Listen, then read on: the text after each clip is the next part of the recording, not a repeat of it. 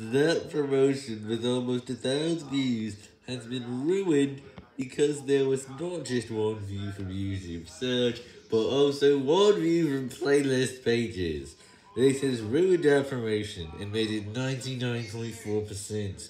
I really don't like that fact. So, I'm gonna be starting a new promotion after two hours.